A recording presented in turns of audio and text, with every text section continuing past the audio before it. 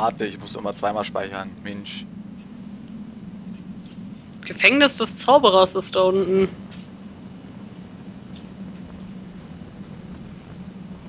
Bisschen mit All durch die Kante rennen, man weiß ja nie, was hier unten so wächst.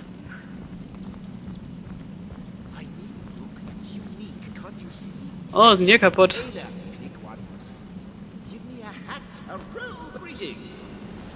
Billiger! Sagt mir irgendwas der Name. Hast du was zu verkaufen? Wow! Sprich noch nicht, ich will auch noch reingucken. Ah, nur ein paar Rollen. Er hat halt ein bisschen viel Kohle, aber sonst wirklich was Tolles hat er jetzt nicht. Magier-Stuff Ich halt. hab's einfach gefunden. Kannst die endlich mal waschen. Die eigentlich geben das endlich mal. Ich glaube nicht, dass der verschwindet, also keine Sorge.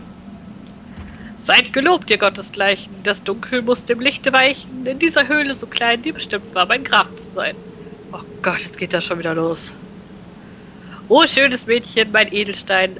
Eine billige Rette sollt ihr sein. Bleibt hier, lasst mich nicht allein. Ich verspreche, ihr werdet es niemals bereuen. Nein! Danke! Ja, wer genau seid ihr? Oh, Unschuld Naive. Ich bin's, Belliger, der größte Magier, den es gibt, weit und nah. Alle Zaubersprüche dieser Welt, ich beherrsche sie, wie es mir gefällt. Ich reime und zaubere, ohne zu fragen. Die Welt ist mein Spielplatz und ich hab das Sagen. Ich glaube auch nicht, dass wir gegen den kämpfen müssen. Warum soll diese Höhle, das frage ich mich, denn euer Grab sein? Wie wunderlich. Oh nein! Jetzt fängt meine Heldin auch schon an zu reimen, Alter. Wenn dann richtig. Die Launen der Jugend, oh ja, sie brachten mich her. Dämonen wollte ich lenken, doch mir selbst aufgebunden habe ich den Bär. Denn damals, so war es in der Zeit, wollte ich nur Maxos Aufmerksamkeit. Ich rief die Teufel ein Quartett aus dem Mond, doch meistern konnte ich sie nicht, ihre bedrohlichen Aktionen. Dem Tod war ich nahe, hätt's fast nicht geschafft, Maxos rief mich mit allerletzter Kraft.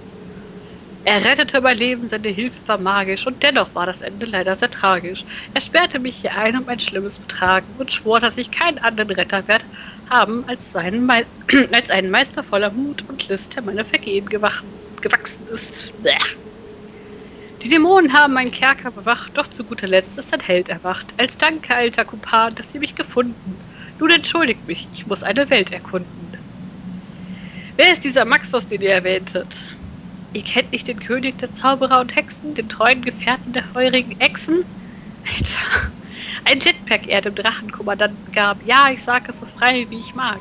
Ein Imperium dieser zudem bekam. Ein großer Vorsprung, haltet euch ran. Also eilt zu einem Laden und betrachtet genau den Drachenkommandanten. Welch eine Schau. Wie lange seid ihr schon hier unten? Wer zahlt die Jahrhunderte, wer zählt die Jahrhunderte, die ich gefangen bin? Dieses Gefängnis ist gar nicht so schlimm. In meinen Träumen habe ich Universen bereist, Königreiche und Galaxien in meinem Geist. Zudem habe ich die Bellagaretten der Sonne, die schönsten Damen, die ein Mann kann, bekommen.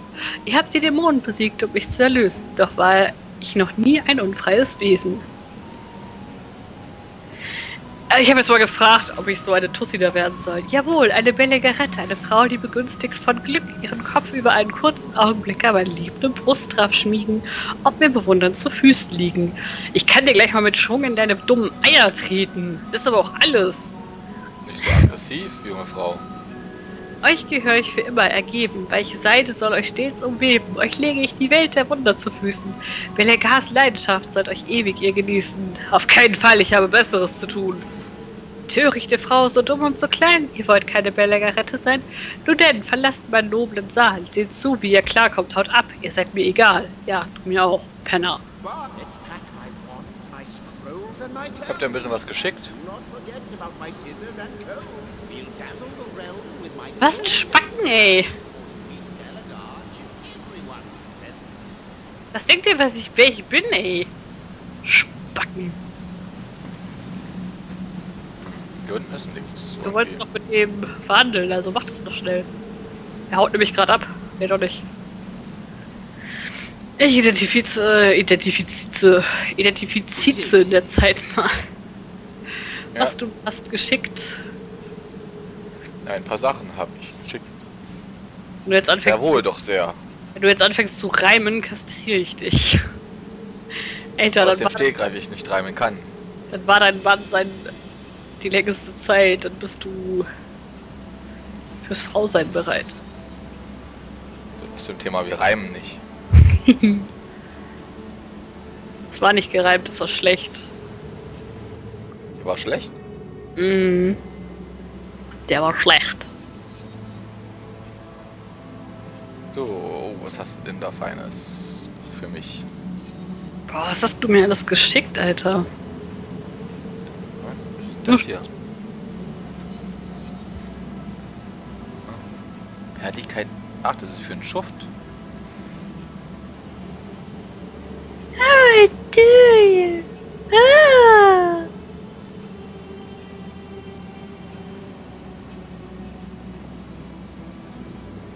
Der Sprung ist leider auch nicht so das ganz wahre. Langer Rattenschwanz. Kann man bestimmt auch was machen. Edle Fehler. Rote Stofffarbe. Dürfte ich auch noch mal kurz bei ihm ran zum Verkaufen, damit wir hier weiterkommen? Ähm ja, also gleich. In zehn Stunden. So gleich, so darfst du doch hier ran. Noch die Schuhe, die reparieren, die du mir gegeben hast, die schon halb kaputt waren. Ah, Belliger. Alter, ich muss hier raus, sonst fange ich gleich das Kotzen an. Dann kotze ich die hier im Dreier auf den Schoß. Was ist das? Ah, cool. Hm? Ich habe eine Erzader gefunden. Bye. Ja, bye. Ich hoffe, ich sehe dich nie mehr wieder. Schön machst du das. Wir sehen uns dann draußen, ne? Ja, ich brauche hier noch ein bisschen Erz ab. Pass auf, dass du gleich nicht wieder überladen bist. Die Dinge sind schwer. Nee, wiegen nur 10 Kilo. Nur, sät er. Zu viel zum Tragen. So, ich würde sagen, wir treffen uns dann Straße nach Silbertal, weil ich denke, in Küsel sind wir endgültig fertig. Und hier ist ja auch der letzte Platz, wo wir aufgehört haben.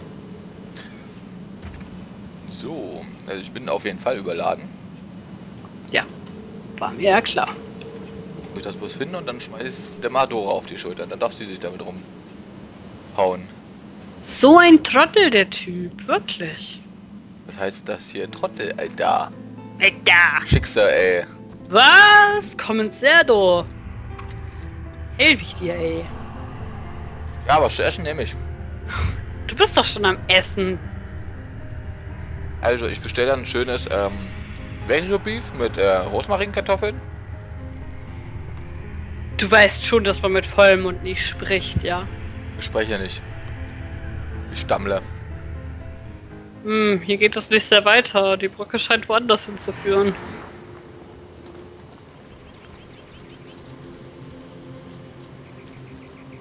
Du bist blau.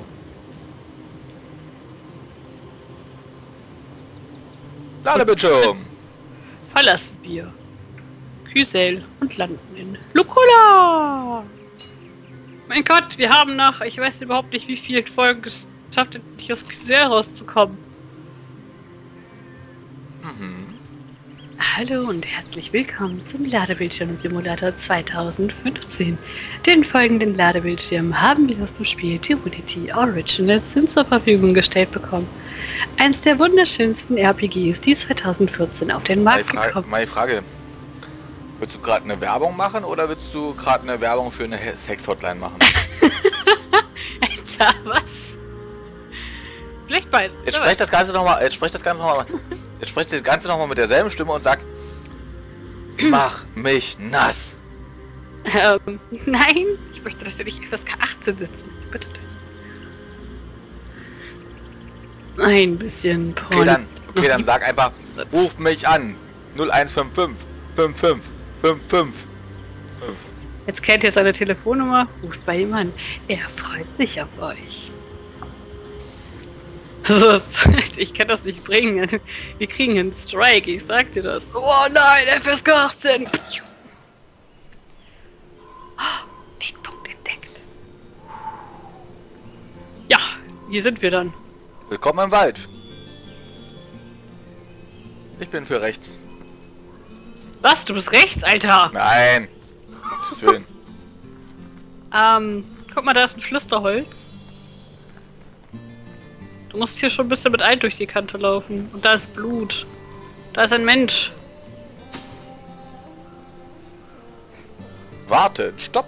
Kann es sein? Ein Quellenjäger? Welch Glück, welch Schicksal. Ich bin gerettet. Äh, sicher? Wir sind auf der Suche nach... Sie sind auf der Suche nach mir. Sie wissen, dass ich geflohen bin und sie werden nicht aufgeben, bis sie mich in zwei geschlitzt und meine Leiche mit Dunkelheit verdorben haben. Wer seid ihr? Ich bin Samit 1, ein einfacher Minenarbeiter, einst ein ergebener Makelloser, jetzt ein Flüchtling vor sowohl Religion als auch Heimat. Cool, du hast gewonnen. Wow, wow, wow, wow, wow. Aber- Lies mal bitte in einem Tempo, dass die Leute das auch verstehen. Aber Asyl gibt's nicht. Alter, Finne, du rastest das so runter, als würdest du um dein Leben... Erzählt mir über die Makellosen. Ich habe mich einst den treuesten unter ihnen... Na, nein, jetzt nochmal ernsthaft. Ich habe mich einst zu den treuesten unter ihnen gezählt. Ich war dem makellosen Weg so ergeben, ich schnell aufgestiegen bin und in alle esoterischen Rituale der makellosen Methode eingeheilt wurde. Hm, Esoterik. Aber gerade rechtzeitig habe ich... Ich habe zu viel entdeckt. Als ich Zugang zu Heiligenstein bekam, dem am besten geschützten Dorf der Makellosen, musste ich mit Schrecken beobachten. Unsere erleuchteten Anführer, ganz unverschämt, dunkelste Quellenmagie verwendet. Nett? Ich habe diese korrupt... Ich habe dieses korrupte Handeln sofort unserer obersten Geistlichen, der Lady Aten Vera, gemeldet. Ich werde ihre Lache nie vergessen. Ich sollte mal sagen, nicht Lache, sondern Lache.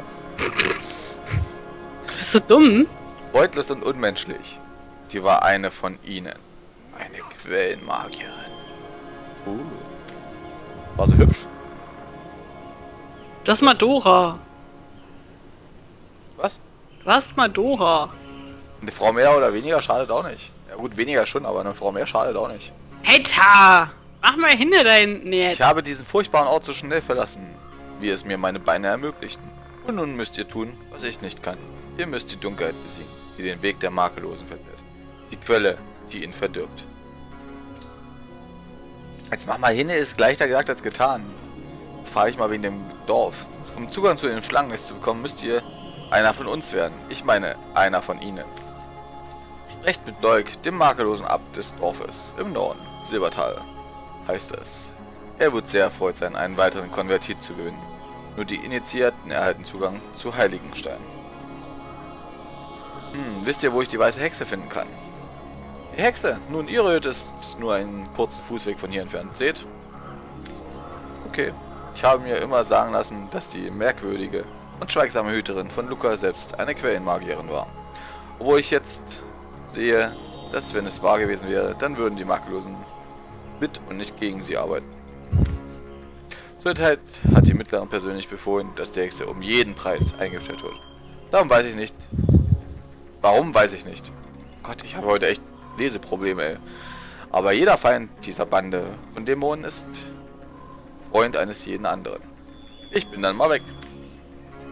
Quellenjäger, im Namen der unschuldigen Makellosen, diejenigen, die nichts über die Giftschlange an der Spitze des Kults wussten, bete ich dafür, dass ihr die Wahrheit ans Licht bringt. So viele von uns suchten nur nach der Seele. Es war uns nicht bewusst, was von uns als Gegenleistung für Opfer verlangt würden. Ende. Du hast nicht nur heute ein Leseproblem. Komm mal her, hier ist ein Alfi und ist verletzt. Er blutet. Soll ich ihn umbringen? Nein, der gehört den da unten. Ich weiß zwar nicht, was es ist, aber arme Ding. Dann gehen wir auch mal hinten hier rum. Nee, ich höre erstmal hier lang. Er hat doch gesagt, das Haus der Hexe ist hier. Müssen zur Hexe. So könnte ja noch Kraut liegen. Kräuter einfach an mich schicken. Pilze, Kräuter. Pilze nehme ich auch immer gerne. Speichern bedeutet nichts Gutes. Warte mal, renne ich hier einfach in einen Kampf ohne mich? Ich renne doch bloß noch an der du. Da ist jemand. Schon wieder so ein Typ im Cape. Ein makelloser Beschwörer. Ah, der Quellenjäger. Es ist mir die größte Freude, euch mitzuteilen, dass wir Makellosen die gefürchtete weiße Hexe gefangen genommen und ihr Haus der Schrecken mit einer Beere versiegelt haben. Erzähl mal weiter. Ja, die größte bekannte Bedrohung von Rivellon wurde aufgehoben. Vor allem dank eurem Verdienst, weniger. Eure Aktivitäten in Seisel trieben die Schlange in ihre Höhle, wo wir Makellosen unsere Falle zuschnappen ließen. Und wer seid ihr? Ich bin ein stolzer Makelloser und habe geschworen, meine Beschwörungskenntnisse in den Dienst des einen Weges der Göttin und des Gemeinwohls zu stellen. Hört sich erstmal nicht so schlecht an, oder? Ich muss die weiße Hexe über ihre Verwicklung in den Mord an Ratsmitglied Jake befragen. Ah, das hohe Ratsmitglied von Seisel. Wir betrauerten seinen tragischen Tod. Ja, jeder Maktlose ehrt das Gedenken an diesen edlen Mann. Dennoch, Königer, ich habe bei meinem Leben geschworen, dieses Sperrgebiet zu bewachen. Ich diene einer höheren Autorität als ihr und werde nicht meine Pflicht verletzen. Ähm, ja. Einschüchtern, schmeicheln oder argumentieren. Hm, Wovon hast du mehr? keine Ahnung. Ich kenne meine Stadt hier nicht auswendig. Schmeichel ihm doch mal Ich ein werde bisschen. ihn mal einschüchtern. Mal die brutale Variante. Ich würde ja normal sagen, lass uns mal Good Cop, Bad Cup spielen, aber ich bin jetzt eher für, ich spiele den Bad Cup. Äh, Cop. Es gibt keine höhere Autorität als die meiner Stiefelsohle. Doch, also funktioniert sogar. Hm, Schere, Stein, Papier. Nee, Sche Stein, Papier, Schere. Aber du hast Ja. null auf einschüchtern. Wie viel hat er? Ich habe 6 auf Einschüchtern und er hat 3 auf Einschüchtern. Oh, dann gewinnt zweimal. Also Papier. Dann geht er jetzt davon aus, dass ich Schere nehme. Dann wird er einen Stein nehmen, dann nehme ich Papier. Sehr schön. Ja, und wir stehen hier und können nichts machen, während er eine Runde Schere, Stein, Papier, Bube, muss Dame, ja König spielt. Er hatte jetzt Stein genommen, ich hatte Papier. Er würde jetzt davon ausgehen, dass ich nochmal Papier nehme. Das heißt, er wird eine Schere nehmen. Das heißt, ich nehme einen Stein. Und hab damit gewonnen. Ja. Schlimm.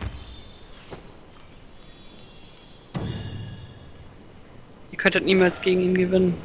Wow, Was denn? 5500 Charisma XP, alter Finne. Ich habe gehört, dass eure Art besonders ähm, überzeugend sein kann. Dann nur zu Quellenjäger. Aber erzählt bitte keinem Maklon, dass ich euch passieren lassen, ha euch habe passieren lassen. Oder es wird nicht mein Leben kosten. Mir doch egal. Nö, nö, wir, wir sagen nix. Der hat uns durchgelassen! Hochverrat! I think there are hidden Sein Name war äh Hildegard. Hier verstecken sich irgendwo Feinde. Alter, was haben die denn hier gemacht?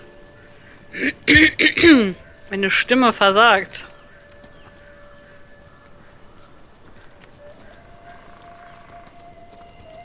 Wie sollen wir denn da reinkommen?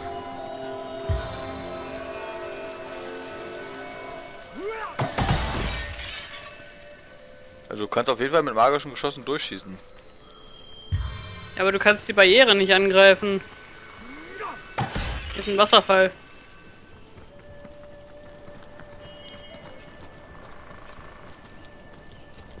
Ja, herzlichen Glückwunsch. Hier sind noch zwei Blaupilze. Äh, toll. Wie kommen wir denn jetzt zu der alten Rinn? Lass doch die Blaupilze mich aufheben. Das ich doch auch. Äh, da ist nicht nur Blaupilze, sondern da ist auch ein Riesenpilz daneben, den ich ansprechen kann. Pilz Ikari. Redet ihr mit uns? Ein sprechender Pilz? Jetzt habe ich wirklich alles gesehen. Oh, das bezweifeln wir aber stark. Habt ihr jemals den Silberlöffel des Mottenkönigs gesehen? Er ist nahezu mikroskopisch klein. Nein, nein. Wenn ihr in diesem Leben habt ihr noch nicht alle Überraschungen erlebt. Noch lange nicht. Was wisst ihr über diese Barriere? Wir denken, könnten das eine oder andere dazu sagen, aber wie furchtbar langweilig wäre das. Machen wir die Sache doch etwas inter interessanter. Wir haben drei neue Rätsel für euch parat. Just selbst ausgedacht.